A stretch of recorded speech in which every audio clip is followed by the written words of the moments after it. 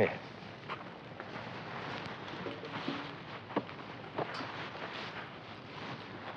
Here's the gun. Now remember, you have to shoot it without smudging the prints on that handle. And the key.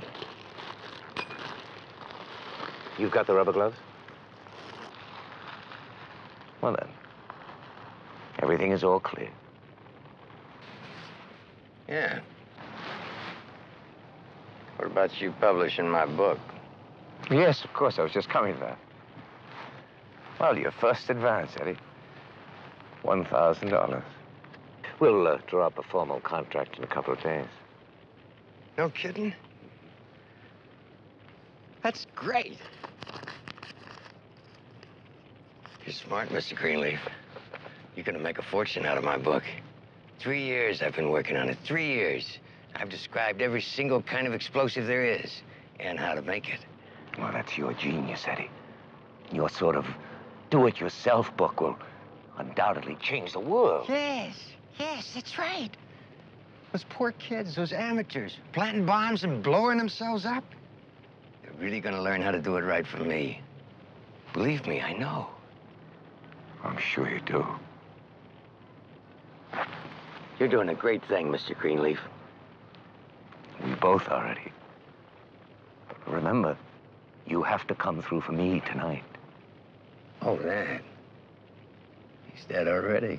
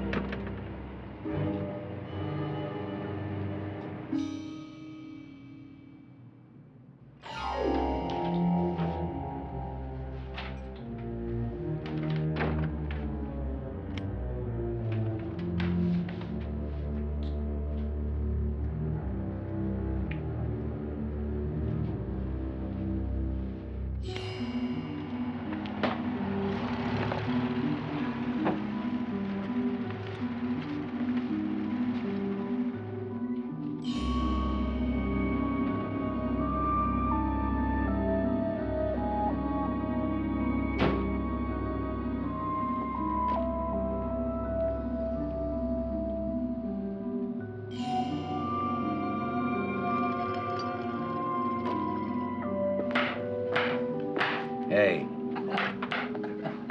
Hey, bartender. If you don't mind a little less conversation, a little more service at the end of this bar.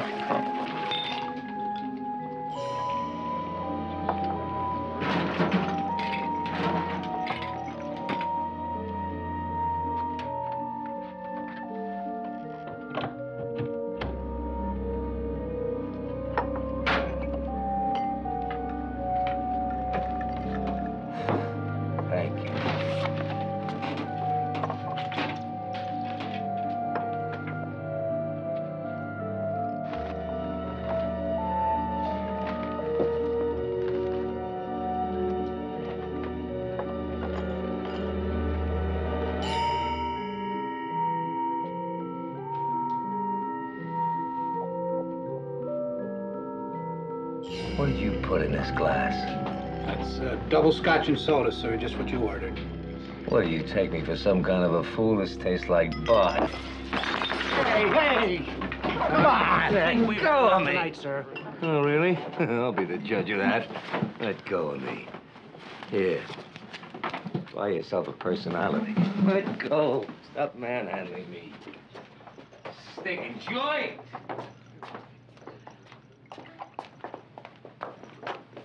You and this place deserve to be in the valley.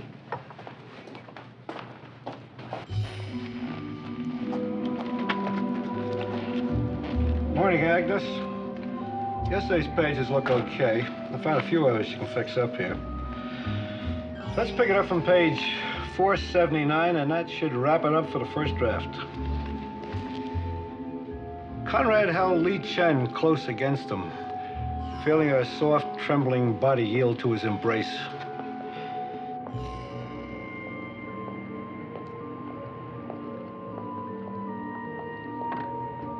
He knew that this must be love.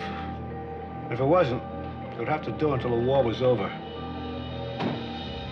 Conrad prowled the room looking for the inside of his personal tunnel. There was no sleep for him that night. It was only 60 miles to Saigon, he thought. But how far could he ever put Saigon behind him? But there was only one real decision to be reached, and it had been formed a long time ago. He knew which way he would have to turn.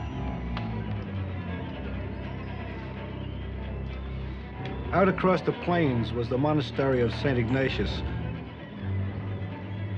offering him hope and a chance to wash away the wounds of war that had brutalized him.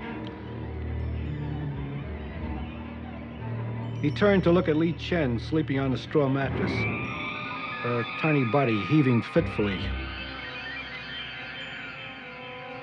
He would not wake her. It was better that she find him gone. Saigon and the fighting was far away.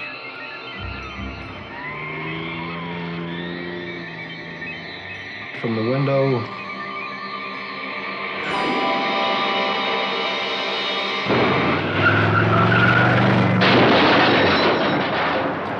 What's the matter with you? Hey, fool! Look what you've done to my car. Oh, I'm so sorry. I What didn't we've see done to you. your car, look what you've done to our car. Tell him, Ralph. Uh, well, sir, uh, you, you, you did pull out without looking. What?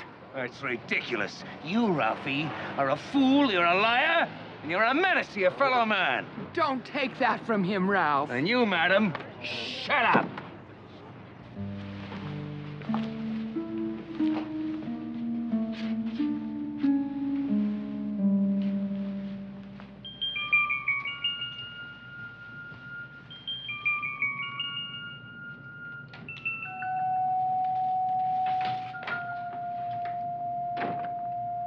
All right, here, Ralphie. I suggest you call that number the first thing in the morning. That's my insurance agent. He'll know how to deal with you. Sir, in your condition, I should call the police. Madam, in your condition, I'd call a plastic surgeon.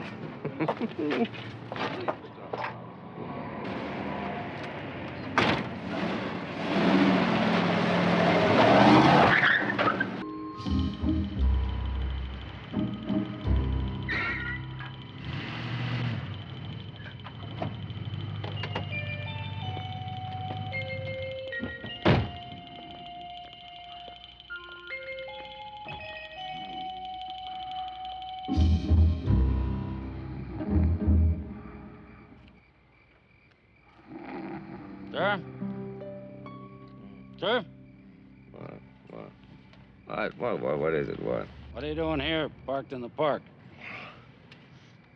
Because there's a sign out there that said no parking in the street. Step out of your car, please, sir. Certainly. Certainly not. I am on my way home, officer, so would you kindly shut that door, please? Please, uh, step out of the car, sir. If you want me to get out of this car, officer, or sergeant, you're gonna have to drag me out. Uh, Fred, Need help, huh? Just one more thing.